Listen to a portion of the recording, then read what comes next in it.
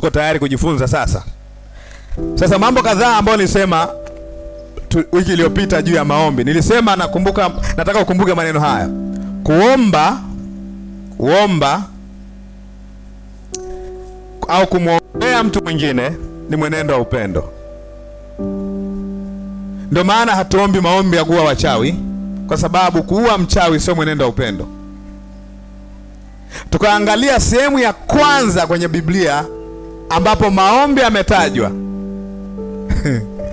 ilikuwa ni kumwombea mtu aliyekuwa na shida. Kwa hiyo ilikuwa ni mwenendo wa upendo. Nabii Ibrahim pale aliambiwa Abimeleki kwenye ndoto ya kwamba nenda kwa mtu huyo ambaye ni nabii. Ukisikia kwenye Agano la Kale anamtaja mtu nabii, ni sawa na kusema ni mwamini au mwenye haki. Tulishajifunza huko nyuma. Ibrahim au Ibrahimu ambaye ni nabii alimwombea Abimeleki ambayo amba, ambapo kizazi chake au nchi yake na na watoto na wa, walikuwa wamefungwa hawawezi kuzaa. Kwa tunaona maombi yana kwa siku ya kwa, kwa mara ya kwanza kwenye maandiko matakatifu ikionyesha kazi ya kurestore hali iliyoharibika. Kwa hiyo ni mwenendo wa upendo. Bwana asifiwe. Bwana asifiwe. Tukaangalia maneno ya Yesu alikuwa anasema imeandikwa, na akanukuu maneno ya Musa, imeandikwa umpende jirani yako na umchukie adui yako. Lakini yeye akasemaje? Lakini mimi nawaambia wapendeni adui zenu na waombeeni wanaowaudhi. Bwana asifiwe. Sikiliza vizuri, kumpenda adui yako na kumwombea, ambapo ni sawa na kumwombea anayekuudhi, kwa sababu adui si anayekuudhi. Kumpenda adui yako au anayekuudhi ni kumwombea. Ameweka vizuri hapa, ameonyesha namna ya kumpenda kwa kuunganisha pale, actually kuweka ile na na kuonyesha tukio, wapendeni adui zenu, waombeeni wanaowaudhi. Kwa mbele ameelezea namna ya kumpenda adui yako kwa kumwombea anayekuudhi, kwa sababu basically adui yako ndiye anayekuudhi, si ndio? Sinakaa hivyo, anaitwa an, ni adui yako sababu anakuudhi, si ndio? Sema aposto, ni ngumu sana. Sio ngumu, ni ngumu kwa mtu mwovu kumwombea adui yake, kwa sababu lugha ya mtu mwovu ni adui yako mwombea njaa hiyo ndo lugha ya mtaa ya. Lakini lugha ya kibiblia ya, ya, ya, ya, ya kufanya unafanya nini kwa adui yako, maana yake jicho kwa jicho, jino kwa jino. Yesu alisemaje? Ni heri mtu asish, asishindane na mtu nini mwovu. Kwa jicho kwa jicho, jino kwa jino ni lugha ya watu waovu, na Musa aliandika kuelezea hali ya mioyo ya watu wale wasioamini. Lakini kwa habari ya walioamini anawaambia msilipize kisasi, na akawapa mfano ya kwamba akikupiga shavu la kulia mgeuzie la kushoto, ambayo ni lugha ya picha ya kwamba usifanye direction yake, usiende kama anavyoenda yeye. Anakuchukia, lakini wewe ndani yako hauna chuki, una upendo wa Mungu. Fanya tofauti, mwombee. Ndio maana kwenye Warumi tulisoma vizuri, anasema wabarikini wanaowaudhi, barikini wala msilaani. Bwana asifiwe. Bwana asifiwe. Neno bariki ni neno la Kigiriki eulogia. Sasa kama umeshazoea zoea kusikia Kigiriki hapa, unaweza ukawa naelewa eu pale ni neno lingine ukiligawa, ina maneno mawili na mizizi miwili, eu na logos. Ndio maana hata eulogia, eu inaandikwa eu, e na u. Logo ni logo hiyo hiyo, kama logo, logos, kwa ambapo logos ni maneno, eu ni well, safi, nzuri kwa hiyo kama ni eh, kubariki ni nini? Ni kusema ni kutaki, ni kumtakia mtu mema, ndo maana ya kubariki. Kwa hiyo unapoombea adui yako aishi siku nyingi, ili unapobarikiwa ajionee kwa macho, hiyo sio eulogia. kwa sababu ukipata alafu unawaza upate ili aumie, sio kuwish good, sio kumtakia mema. Bwana asifiwe. Kwa hiyo kumtakia mema, eulogia, kubariki, ndo maana the best way to bless is to pray for. Eulogia ni, kutsa, ni kumtakia mtu mema, ile good words. Nakumbuka logos ni neno eh? au speech, si ndio? Kwa ukiambiwa bariki, maana yake speak good of. Kwa taratibu, ndio maana kwenye hiyo Warumi 12 ambayo tumesoma wiki iliyopita anatumia maneno yale yale anaposema angalieni yaliyo mema machoni pa watu. Kwa lugha rahisi, yeye anataka mwamini afocus kutenda mema kwa ajili ya watu, sio mabaya. Hapa akasema ni heri mtu asema msi, usilipe ovu kwa nini? Kwa ovu. Mnakumbuka vizuri na, na, na, nafanya summary tulipotoka. Msilipe nini? Ovu kwa ovu. Sasa umeelewa namna ya kusoma Agano la Kale kama mnakuwepo vizuri. Tulisema unaposoma Agano la Kale unakutana na watu wa aina mbili, unakutana na mafundisho ya aina mbili, unakutana na ulimwengu wa aina mbili. Nakumbuka eh? Yeah. Kwa Musa alipokuwa anaandika, anaandika kwa watu wa aina ngapi? Mbili. In fact, hata ukisoma Zaburi unakutana na watu wa aina ngapi? Mbili. Kwa sababu Zaburi haiku, haiku, haina doctrine ya hewani, imetoka kwenye kitabu vitabu vya Musa, kwa sababu Daudi ni mwanafunzi wa Musa. Sawa sawa, manabii wote ni wanafunzi wa nani? Musa peke yake ndo hana mwalimu, kwa sababu kwa hiyo doctrine zote zinaanzia kwa nani? Kwa Musa. Bwana asifiwe. Tunaelewana eh? Musa hana mahali popote alipo nukuu, si ndio? Lakini manabii wote wanamrecognize Musa. Ukiona tu wametaja sheria, wanamzungumzia Musa. Tuende taratibu eh? Kwa hiyo ukikuta mtu anayeomba kwenye Zaburi ya 35 unagundua hii ni huyu ni mtu gani? Anasema wae kama makapi mbele ya upepo, malaika wa Bwana akiwafuatilia miguu yao iwe na utelezi eh, nakumbuka? Bwana asifiwe. Waibishwe, wafedheheshwe, itafuta nafsi yangu. Na nyimbo zinapigwa kama makapi mbele ya upepo, malaika wa Bwana njia yao nini nini. Sasa oh, oh, wow, wow. Na watu watoka machozi jamani.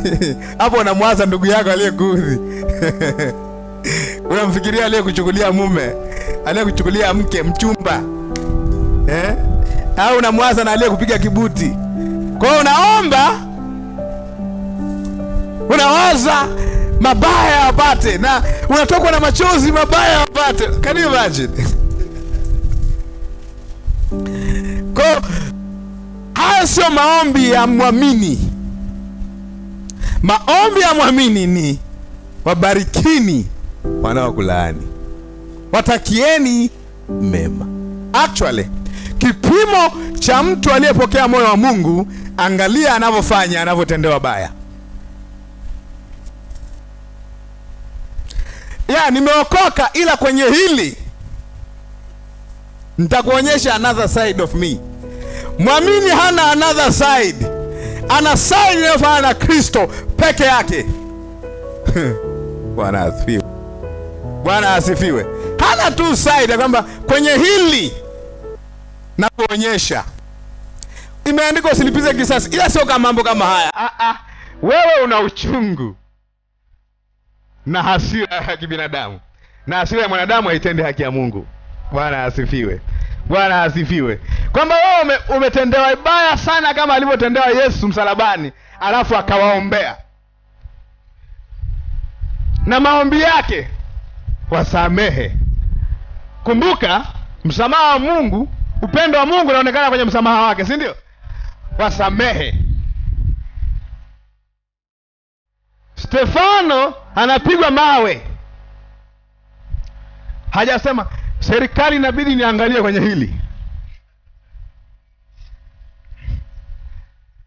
Na yeye kama bwana wake wasamehe.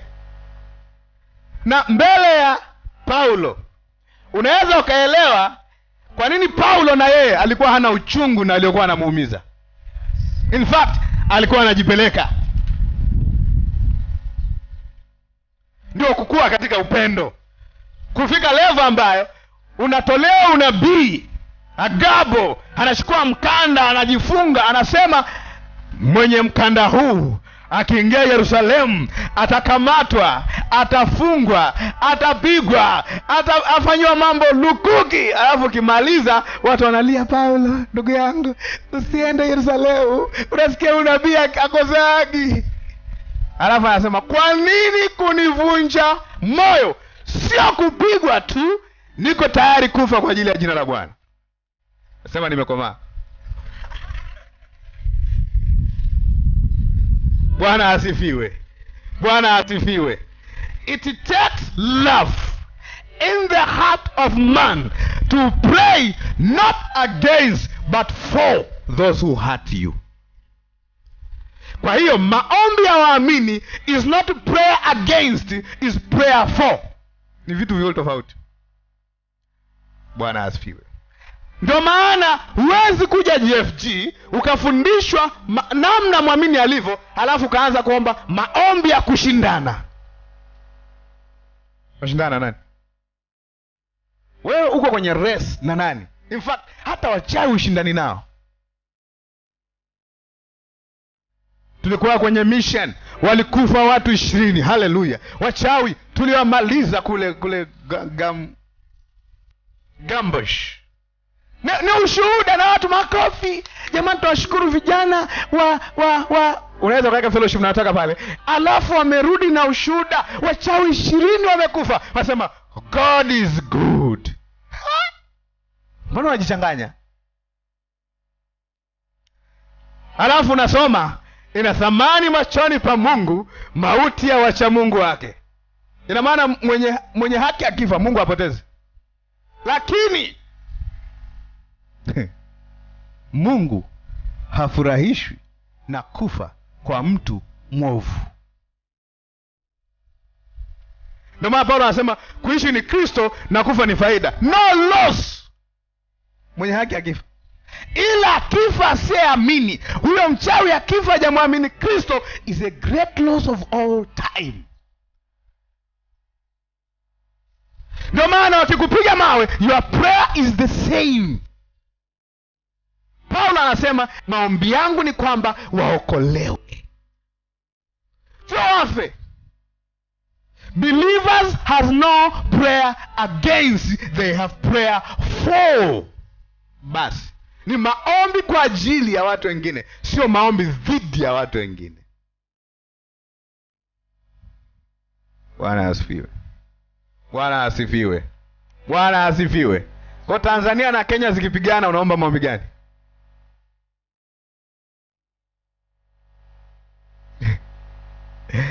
Baba watie nguvu wanajeshi wetu. Wamalize. That's unbelief. Bwana asifiwe. Bwana asifiwe. Bwana asifiwe. Anauliza sasa Apostle, tunaombaje hiyo si utulie. Kuna namna ndio maana akasema kwa nini tunaomba namna tunavyoomba? Kuna namna tunaomba ambapo sio namna ya kimwili. Ni maagizo ya bwana wetu yesu kristo. Tumeelewana?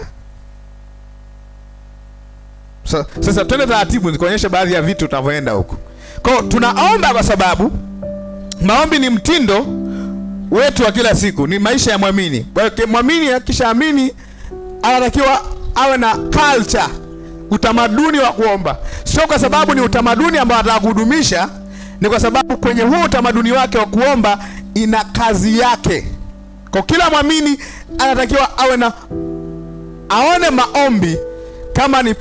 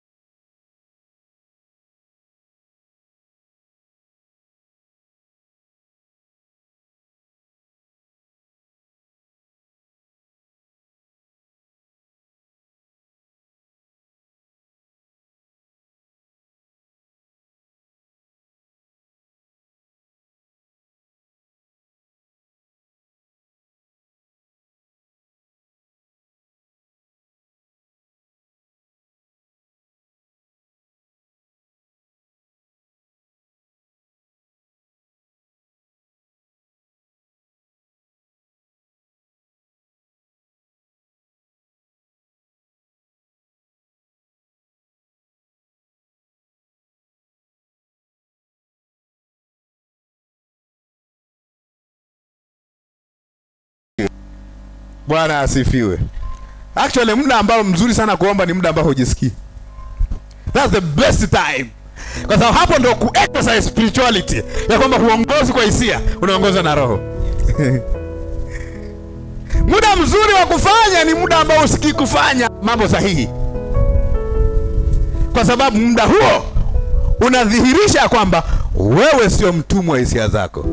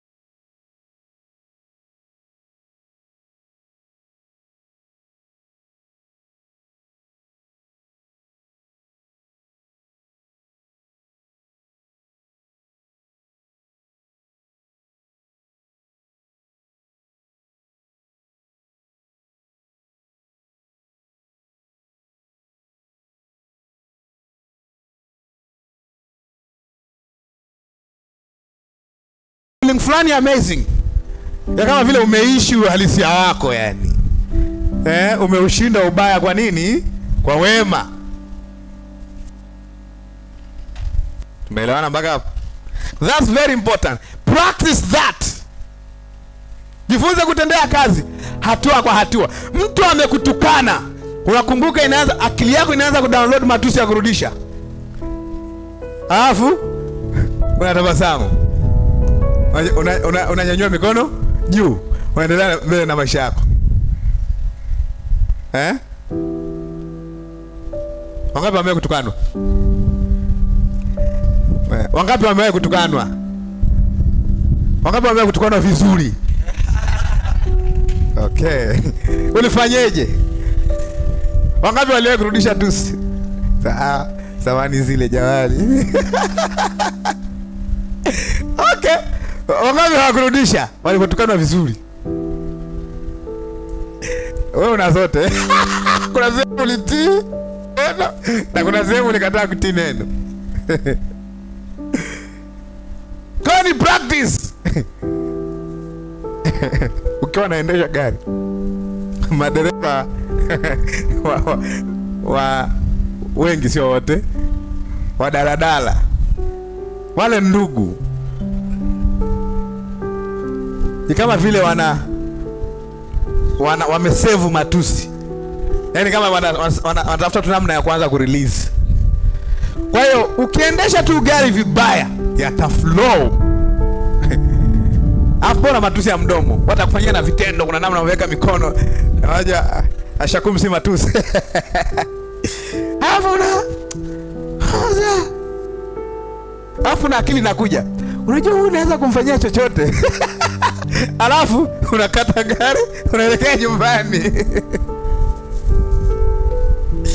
Bwana asifiwe. Bwana asifiwe.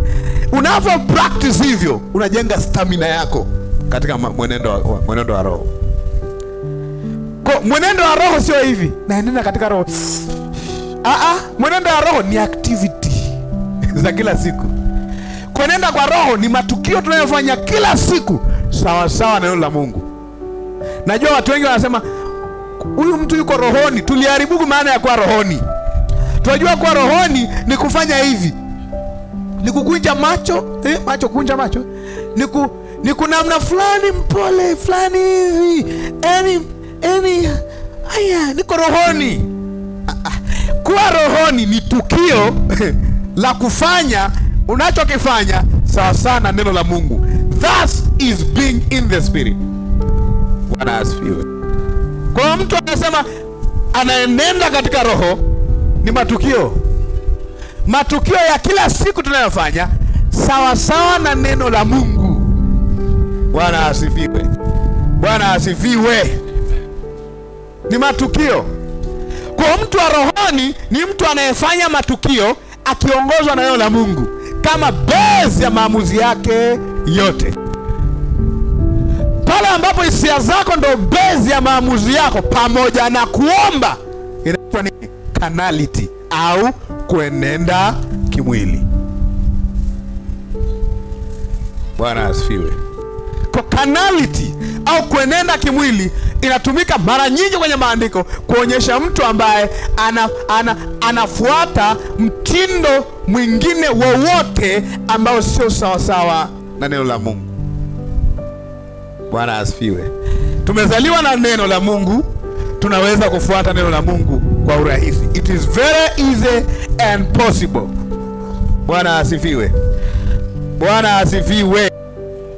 Kwa hiyo maombi ni mojawapo ya matukio ambayo natakiwa tufanye ya roho, ya roho mambo ya roho ambayo natakiwa tufanye kwa kuongozwa na maandiko sio na hisia zetu. Ni kudumu ukiona kitu ambayo naambiwa dumuni sana katika kuomba. Ili jambo sio la hisia si ndio? Ukiambiwa omba bila ya kukoma ili jambo sio la hisia tunavuka eneo la hisia tunapozungumza habari za kuomba. You don't have to feel. Mimi najua sasa hivi nimefiwa. Kwa sababu nimefiwa siwezi kuomba. He? unafanyaje ingia chumbani jifungie. Umefiwa eh? Anza kuomba. Aposta, hujui tu. Nafikiri mimi sijawahi kufiwa. Bwana asifiwe. Usiwe mtu wa kusikiliza hisia zako inapofika eneo la kufanyia kazi neno la Mungu. Lakini pia maombi yanatuandaa sisi kufuata na kutii maagizo ya Mungu, yanatuandaa sisi kufuata na kutii maagizo ya Mungu. Nitaelezea mbele, nataka tuandike hayo, alafu taratibu. Ndio maana ni rahisi zaidi Mungu kumtumia mtu anayeomba kuliko mtu anayejua sana. Yaani bora mtu awe anajua kidogo na anaomba kuliko mtu anayejua sana na haombi.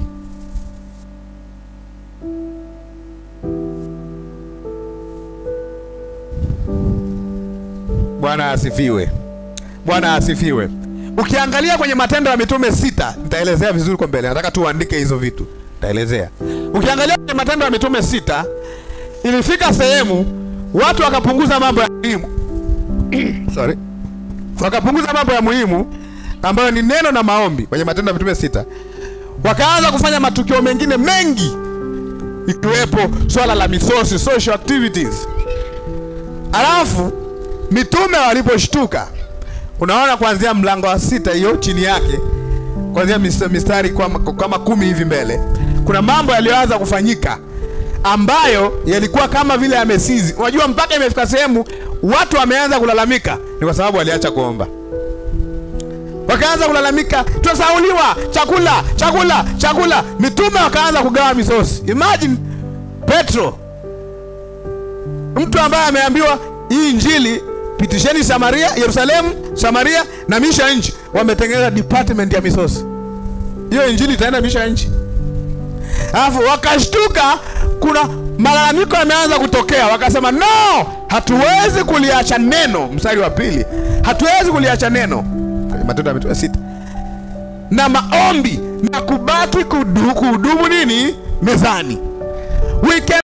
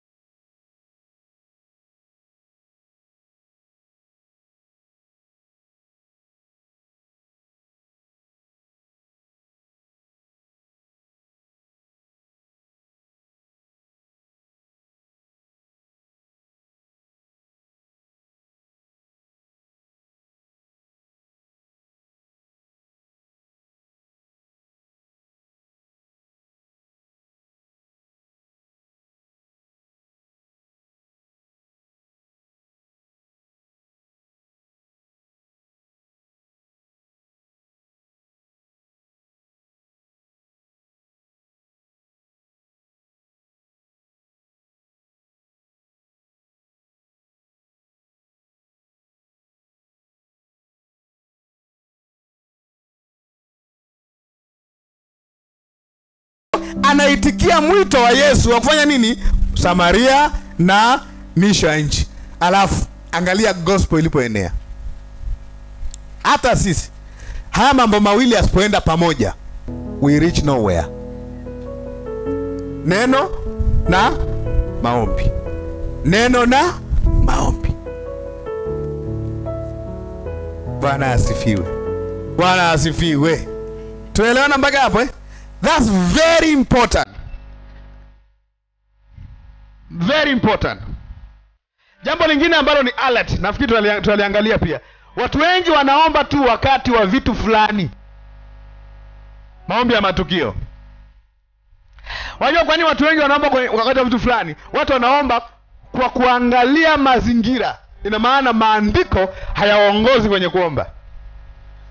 Kwa watu wengi kuomba kwao ni matukio. Sister, uandiki ukiwa uandiki unanidisturb. Akisheni ana sehemu ya kuandika. Ukimleta mgeni akisha umempa sehemu ya kuandika. Siamini ya kwamba akili yake inakamata yote nayoyasema. Akisheni anaandika. Kalamu hiyo hapa. Chukueni daftari fast. Usiende nje. Tafuta sehemu ya kuandika hapa huku huku ndani. Napata tuseme kuandika. Bwana asifiwe. Yeah, ni vizuri kuandika ndo amri ya kumi na moja eh? ya kwetu. Tumeelewana eh? Kwa watu wengi omba kulingana na matukio. Ndio maana ndio maana ndio maana sisi tuna maombi yale yale wakati wote, kwa sababu tunajua yale maombi yanafanya nini. Bwana asifiwe, Bwana asifiwe. Yaani kuna watu wameamka kuomba baada ya korona. Jamani, wana maombi, amkeni! Mlikuwa mmelala wapi? Korona ikiondoka mnalala. Kwa wana maombi ni watu wa kuamshwa. Actually sisi kanisani sisi hatuna wana maombi. Kila mwamini anatakiwa kuomba. Ndio maana ukitengeneza kikundi cha maombi kwenye kanisa umeshaharibu maana ya maombi, kwa sababu a believer is a man or woman of word and prayer. Hawezi akawa mwamini apendi kuomba, hawezi akawa mwamini apendi neno. Huyo sio Mkristo. Yaani Wakristo ambao ukiitisha maombi wanaonekana wanaenda baadhi ya watu, huo sio Ukristo. Actually ndo imeharibu kristo kwa, sa, kwa sababu changamoto iko hivi. Kwa hiyo unakuta kanisa kuna mgawanyo, kuna watu wanapenda neno, kuna watu wanapenda maombi.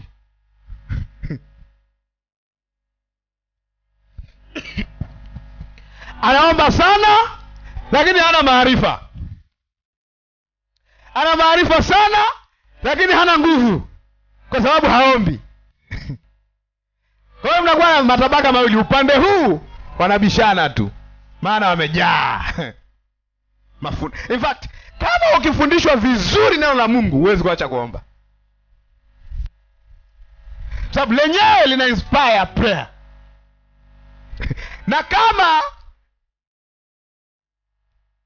unataka kuomba vizuri, lazima ujue neno vizuri. Hakuna ambayo unaweza kuacha. Unajua kuna unasema complimentary goods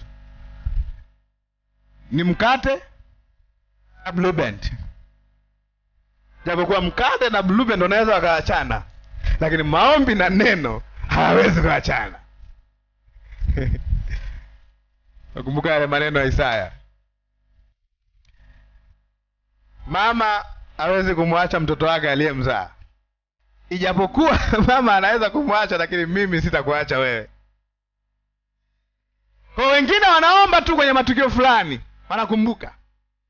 Zamani kwenye enzi zetu, ukifanya dhambi ndo unaenda mlimani kuomba siku arobaini. Ufute ile hatia, yaani mpaka ujisikie kwamba hatia imeondoka, unarudi kutoka mlimani. Kwa maombi ni matukio kwa watu wengi lakini maombi sio matukio. Ndio maana nasema ombeni bila kukoma. Ina maana when you feel good, you don't feel good, prayer is a must.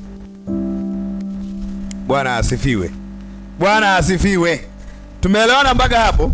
Kwa ukiangalia maisha ya Yesu mwenyewe, maombi yake yalikuwa ni continuous. Sasa ngoja nikuulize, Yesu alikuwa na dhambi gani mpaka akaomba?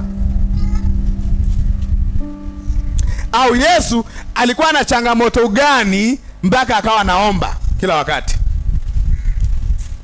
Kwa maombi, andika hiyo, hatuombi kwa sababu tuna ila tu ukisikia kuna umekuta message ya msichana mwingine ameitwa darling au dear, hapo ndo unakumbuka ulimwengu wa maombi.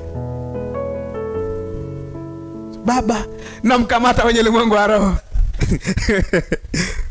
Wewe mkono gani wenye ulimwengu wa roho kamatia watu? inampofusha kila msichana atakayemwona, yaani Mungu anitazame mimi tu. Ninaweka ukuta, nazingira kwa moto pande zote, yaani kila akimsogelea unampaka, nampaka na mavi, mimi nimwone peke yangu, yani safi.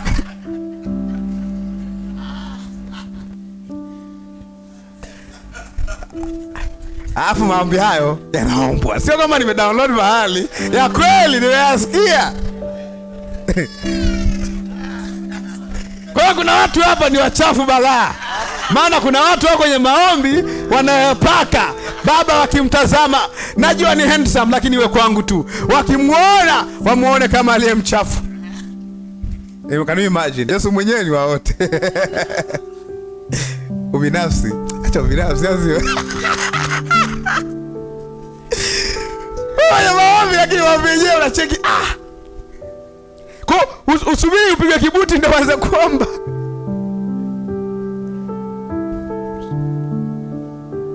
Zamani kukutana na wazee, unaenda kanisani kuomba, kijana eh, barobaro sharubaro, kijana barobaro, unaenda kuomba.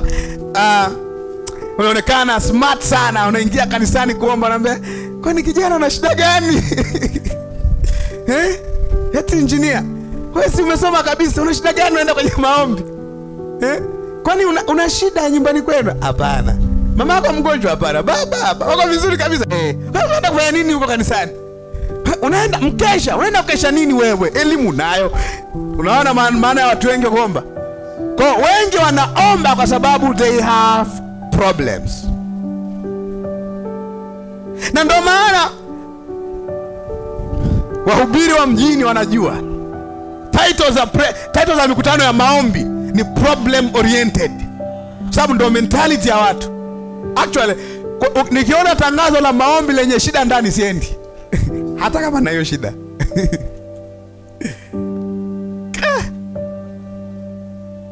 maombi ya kukamata waume naandikwa pale. Unaona hapo sasa, maombi ya kuombea ndoa ukiandika tu nyomi fanyeni ajali, andikeni moja siku moja, tagundua watakuja mpaka waliovunjika miguu. Hiyo ni lugha ya picha eh, usinitafsiri vibaya. Yani watakuja mpaka ambao hawastahili kuja, yani mpaka wasioamini watakuja. Mtu ataku, watakuja watu utaamini wametoka wapi. Ina- Inakuwa tu ni kama vile kituo cha waganga wa kienyeji wanaotumia jina la Bwana. Mtu anakuja pale, unahubiri habari za Yesu, haelewi kabisa, anawaza tu mume. Nikushangaze zaidi, sio maombi. Kuna watu actually sio wameokoka, lakini waliambiwa hivi, okoka ili upate mume. Sio story, mimi nishakutana nao. Yaani amekaa kanisani mwaka wa kwanza, mwaka wa pili, mwaka wa tatu anakuja, baada ya kwamba hajaolewa, anakuja kuonyesha kwa nini alikuja kanisani. Akasema, niliambiwa njoo kwa Yesu akupe mume. Kwa mkiombea sijui mission, haelewi kabisa, maana misheni yake ni moja tu. Sasa niulize, huyu mtu kaokoka? Jamani, ili kanisa la waokovu umeokoka nini? Umekuja kuokolewa kwenye singleness, from single to married, ndo wokovu wake. Huyo mtu akipata mume leo, kama nawasema wanawake sana eh, tabii nianze wanaume sasa. Huyo mtu akipata ila ila ila ila ila percentage fulani percentage fulani wa, wanawake kwenye hili eneo wanapata tabu wengi. Sio GFG. Ah, Nawaambia wale walioko nje jef JFG ambao hawaenendi katika roho. Ko Akipa, akija sasa akapata huyo mume asema glory to god haleluya sababu glory of god is seen. Utukufu wa mungu unaonekana kwenye kupata mume. Akipata utukufu mkubwa utukufu kama wote. Mtu akiokoka tushangilie jamani kuna watu wameokoka kwa, sababu wokovu wake ni kuokolewa kutoka kwenye singleness kwenda marriage. Kwa tunaposema tumehamishwa katika ufalme wa giza na kuletwa katika ufalme wa nuru ufalme wa mwana wa pendo lake yeye tafsiri yake ni tumehamishwa from singleness to marriage. Umeona shida ya kuhubiri vibaya? Inaleta mpaka kuomba vibaya. Na inaleta disappointment kwa watu sababu you lied to them. Sasa amekuja mtu baada ya kumwalika kanisani kwa sababu ya shida ya ndoa. Akaja alafu uki- uki- ukija umwambia humfundisha habari za yesu anakaa pale siku zote anatafuta wokovu wake kutoka kwenye shida zake. Unajua hata ukifundisha habari za kristo ambazo zitamsaidia hata kwenye hiyo shida yake hawezi kusikia. Kwa sababu anataka you hit anasema mbona hit the point aposto mbona maombi yenu siyaelewi? Mbona kama amgusi biashara zetu kila siku ukuaji wa kiroho? Huo ukuaji wa kiroho ndio kuombea biashara. Huo ukuaji wa kiroho ndio kuombea ndoa yako. Ah, umeanza kuharibu. Wajua mnagombana kwa sababu ni wachanga eh? Eh? Sababu upendo wa mungu haujakuwa ndani yenu. Ndio maana mnarushiana ngumi. Kwa sisi tunajua problem. Problem nini? Immaturity. Changamoto ni kwamba kama yuko ulimwengu a na huko ulimwengu b shida ni kubwa. Yaani tunakuombea wewe ukuaji wa kiroho. Ila mke wako huwezi kumwombea ukuaji wa kiroho. Unajua kwa nini? Sio mwamini anakuwa kutoka kwa wapi yaani una unayapalilia mazao yaliyoko shambani. Ili akuwe vizuri si ndio? Lakini this one doesn't even believe the gospel. Ndio maana maandiko yako wazi. When it's come to marriage don't marry unbeliever. Usimwoe asiamini usiolewe na asiamini inaweka hivyo kwa sababu ni rahisi kushughulikiwa na neno mtu aliyeamini ni rahisi kumwombea ukuaji wa kiroho. Anaposoma na neno lile neno linamwafekti linaanza kuleta matokeo. Lakini hata neno halitaki. Sasa mungu peleka mkono wako. Ingia kwenye ufahamu wake. Badilisha akili yake. Umeanza uchawi. Unaweza ukamfanya mtu awe mento crazy. Ghafla unataka awe robot asiwe na maamuzi. Mungu hataki hiyo. Mungu anataka mtu anayemkubali kwa kusikia kweli na kusema naam hii ni kweli. I choose the gospel against the lies. Nachagua injili na kataa uongo. Ndicho mungu anachotaka. Ndio maana tumempokea mungu sio kwa sababu tunaogopa jehanamu kwa sababu najua hii ni kweli. Mungu ametupenda ametusamehe. We take the gospel. Si, si kwa sababu yoyote ile. We are not robots. Tumekubali wenyewe sio kwa kulazimishwa. Na uzuri wa mahusiano ni kukubali bila kulazimishwa. Sio maana yake? Ukikuta mrembo aliyeko ndani yako pamoja na wewe ni nani? Yaani yupo kwa sababu kwa sababu. Sio kama anakupenda wala kukubali. Lakini imebidi tu umri wenyewe unaenda. Sasa unajua aka- akamwona anayemkubali. Wewe ni mzee umri umeenda. Akamwona anayemkubali anasemaje unajua bwana mi nilikubali tu kwa sababu nilikuwa umeenda. Ila kiukweli ningepata mwingine. Ajisikiaje even god want a relationship ambayo ni mutual. I love god because he loved me first. No hakuna shortcut. Bwana asifiwe. Bwana asifiwe. Hey! Hey! tumeelewana mpaka hapo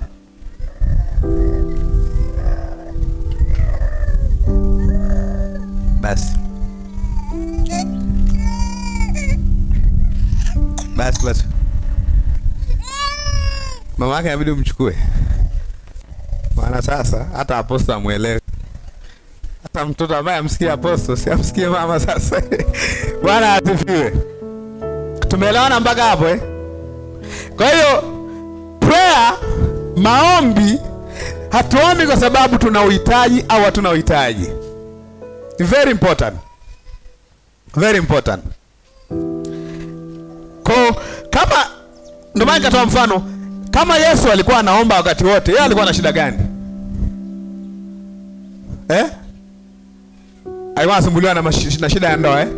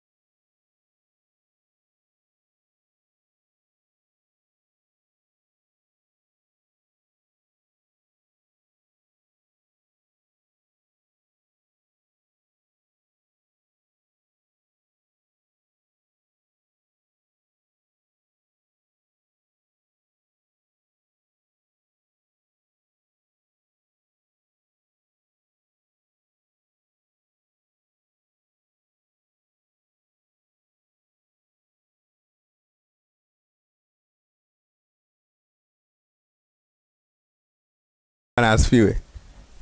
Bwana asifiwe. Lakini unamwona yes kwenye, ule mfano wakati yule mwanamke amesema hii kitu ingeuzwa angalau agawie maskini. Unajua comment, comment ya mwandishi amesemaje? Alisema hayo kwa sababu alikuwa ni mwizi.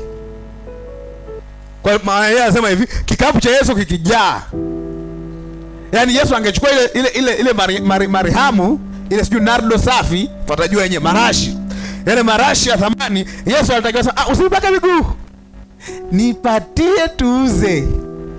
Tukiuza hela, si anapokea nani? Yuda. Kwenye kuchukua, Yuda anajua kazi zake. Kuna fungu anakuwa na hamana na kwa Yuda inawezekana alikuwa TRA ya Yesu. alikuwa anapiga mahesabu vizuri pale kata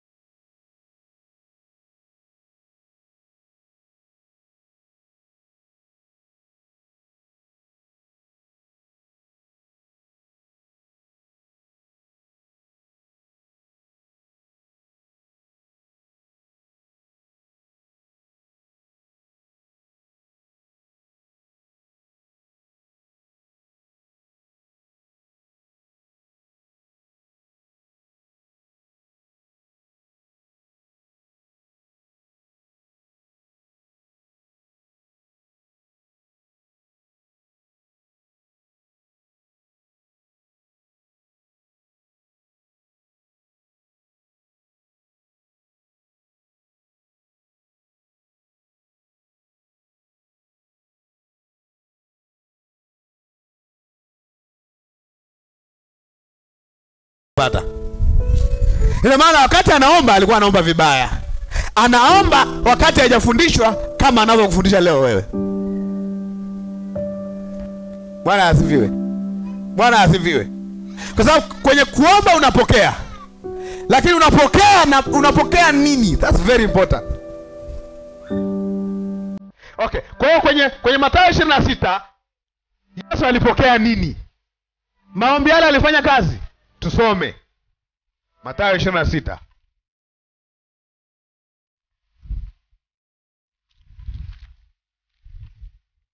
Pray until something happen. What is that? you are going to happen. Sorry. arobaini na ngapi tunasoma? Kwanzia arobaini na moja.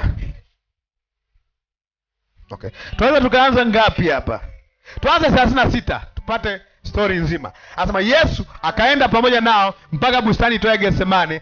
Actually Getsemane ni sehemu maarufu kwa Yesu kwa sababu desturi yake kwenda kuomba kwenye ile eneo hii bustani ya Getsemane, sawa eh? Yeah. Ukiangalia sehemu zingine ambapo Getsemane imeandikwa utakuta ilikuwa ni desturi yake kwenda kuomba pale. Desturi maana yake ilikuwa ni kawaida yake kwenda kuomba pale. Aha, akamwambia wanafunzi wake, ketini hapa hata niende kule nikaombe. Akamchukua Petro, maana yake aliwaacha wengine hao wale kumi na mbili, akawachukua Petro na wale wana wawili wa Zebedayo, actually hawa ambao tunajua shida yao eh? Akawachukua. Yani it's, it's, it's so good to be healed to the love of Jesus, kwamba unajua huyu kimea huyu kimea, lakini ndo wachungaji wangu, au sio? au sio? Kwa wewe ndo unatakiwa uwe perfect kwenye moyo, kwenye kwa, kwa lea, sio wawe perfect ili waseme unajua una, una, una, una watu wazuri sana.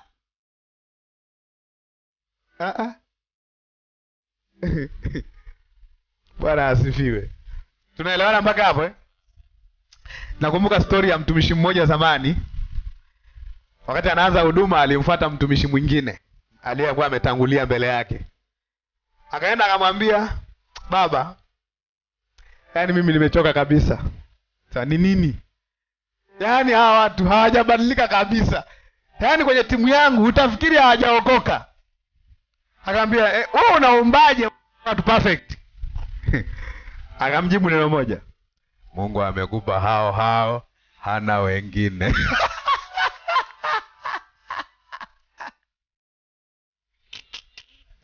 komalao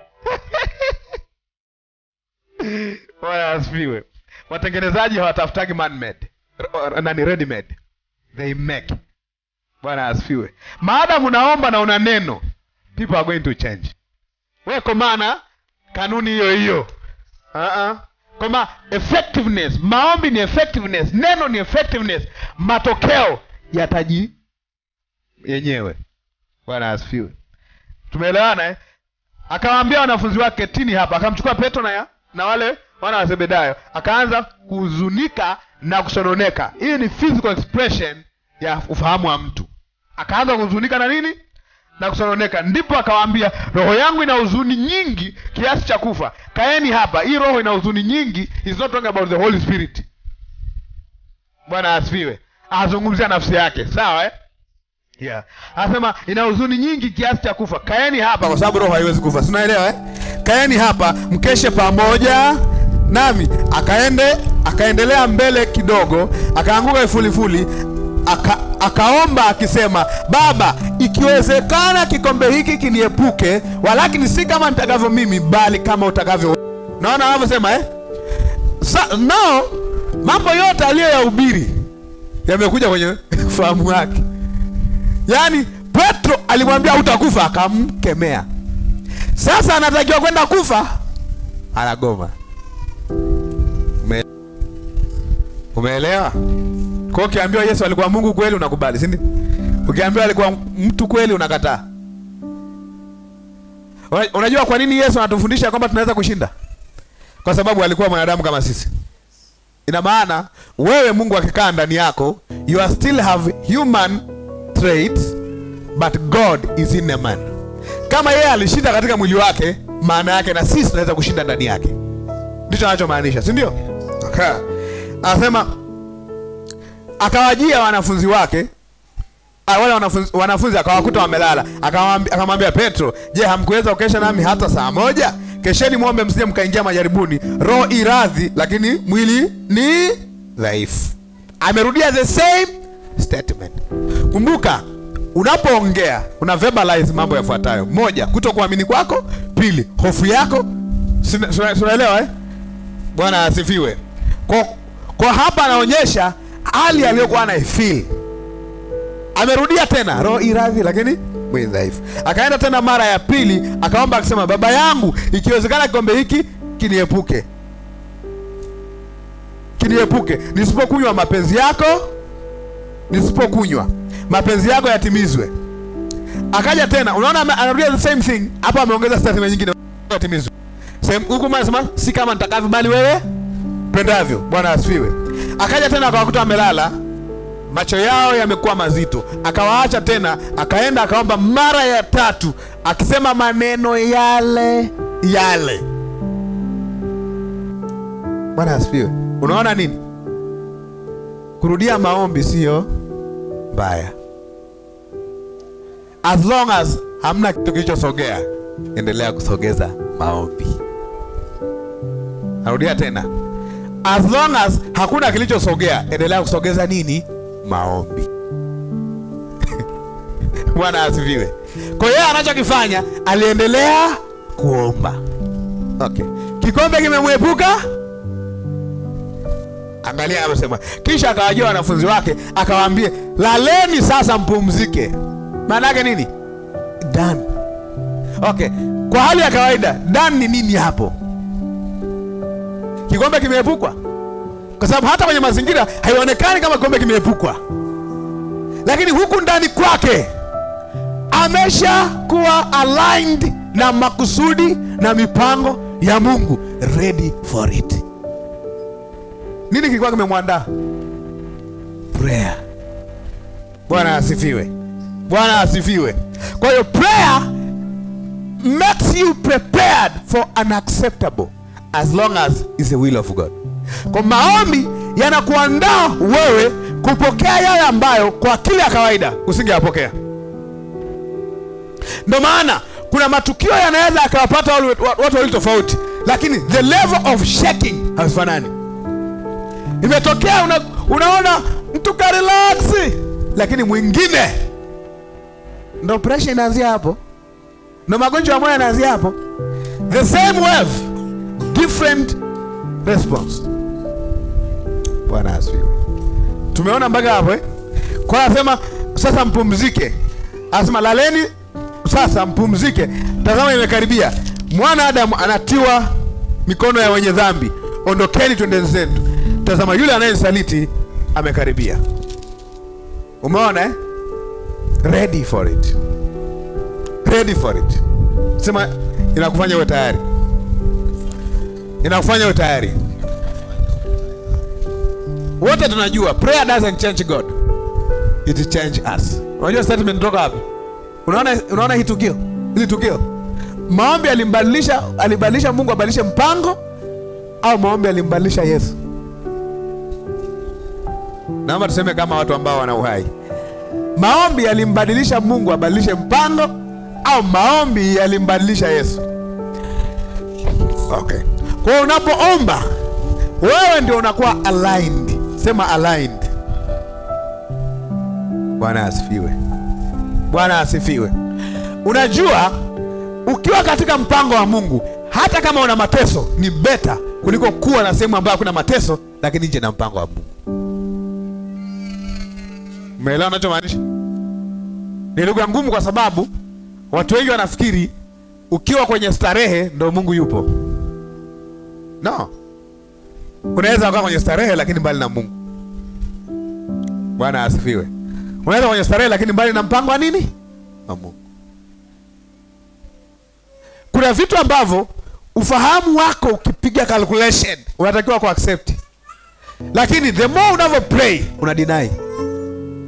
Watu wanakufuata wanakuambia, ha ume, umekataaje kitu kama hiki? Ina maana kwenye kuomba kwako uliweza kuona zaidi ya kile kinachoonekana. Bwana asifiwe. Unaweza kuona zaidi ya kile kinachoonekana. unakataa lucrative opportunity, fursa inayoonekana nzuri at the beginning. Kila mtu anaona wewe ni mjinga kabisa, umekataaje hii? Lakini when a man of prayer rejects an opportunity, don't see it as foolishness. Narudia tena, ukimwona mtu aliyejikomit kwenye neno na maombi amekataa fursa, usije ukamwona mjinga.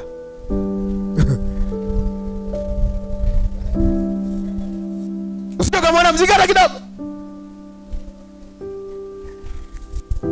Wakati naacha kazi benki, watu waliona na kichaa kichaa kabisa. Sio nimeona kana kichaa, nimeambiwa una kichaa. Unajua kuambia una kichaa? Unajua unaambiwa una kichaa? Lakini ngoja nikwambie, kuacha pia was not easy. Sababu ni kazi pekee ulionayo, ndio unalipia kodi ya nyumba, ndio unafanyia kila kitu hiyo hiyo, alafu mwalimu wako you want to get out, alafu naona eh, unajua wakati mwingine tunaombea vitu ambavyo tunajua majibu yaani unajua unatakiwa kutoka, unaingia kwenye mfungo unagundua unapofunga ndipo unajitengenezea nafasi ya kuondoka kwa haraka yaani ta siku siku yani siku mwili wako uko tayari, unasema ondokeni, twendeni zetu. Unajua unafanyaje? Huwezi kusubiri siku thelathini tena. Niliandika barua ya masaa ishirini na nne nikiingia kwenye kwenye ofisi naona kama vile nimeingia sehemu sio ya kwangu kabisa. 24 hour notice. Mshikaji, utaaja mshahara mwezi huu? I don't care. Eh, utaishije? I don't care. Ume, umetoa wapi yale mafungo baba? unaingia tu kazini, nilikuwa nafanya kazi benki pale, unaingia tu uko kwenye, ilikuwa ni mwezi wa kumi na mbili. Unajua mwezi wa kumi na mbili karibu kila mtu anaombaga eh? Unaingia unaingia kwa mafuni kule kuomba, unasukuma unasukuma unasukuma unasukuma, unaingia ukija, unaona kila ukiona makaratasi, unaona makaratasi ya kazi gani? Mbona kama sitaki kuwepo hapa? 24 hour notice.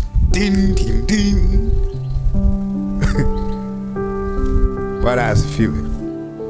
Tunaelewana anachokwambia eh?